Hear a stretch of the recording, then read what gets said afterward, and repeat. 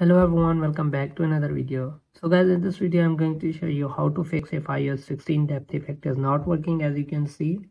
The depth effect is grayed out.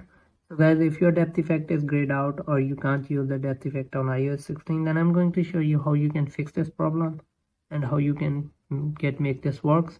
So let's get start the video. So before we start the video guys hit the like button and subscribe to the channel for more upcoming videos. So first of all guys hold on the your lock screen then simply click on customize. So this can be the problem of wallpaper. So guys if you are using this like this wallpaper and you are getting you are using any wallpaper and you are getting this you cannot select the depth effect because it's grayed out. Then you need to change the wallpaper. So let me show you like this one. So as you can see i have this right here.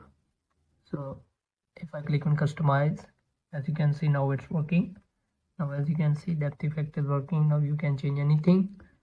So guys it's the problem with your wallpaper not with your iphone. If you are using any wallpaper that doesn't support depth effect make sure that you try another wallpaper.